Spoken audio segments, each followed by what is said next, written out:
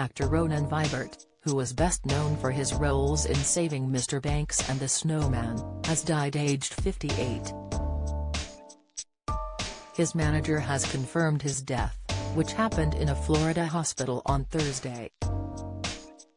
Ronan's manager has said he died following a short illness, but no further details have been given at this time. The actor made his debut in 1989 show Traffic and appeared in TV shows such as Birds of a Feather, Lovejoy, and Gimme Gimme Gimme. He also starred alongside the likes of Tom Hanks and Emma Thompson in Disney's popular film Saving Mr.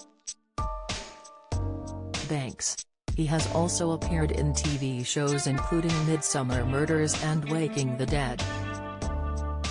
Some of Ronan's most memorable roles include P. L. Travers publisher Diarmuid Russell in Saving Mr. Banks, Giovanni Sforza on Showtime's The Borgias and Barry Klein on History's Hatfields and McCoys.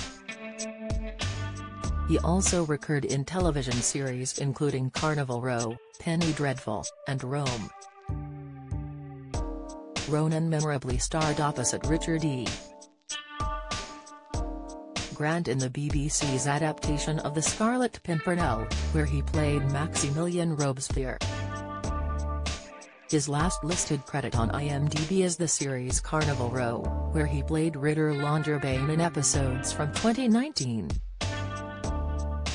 His most recent feature film roles came with two 2017 titles, festive thriller The Snowman starring Michael Fassbender, and the historical action movie Six Days with Jamie Bell and Mark Strong.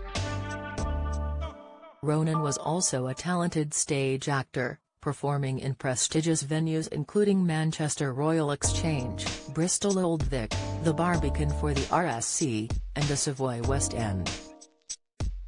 Some might remember Ronan for his performance as Prince Andrei in Helen Edmundson's adaptation of Leo Tolstoy's War and Peace, which was held at the National Theatre in 1996.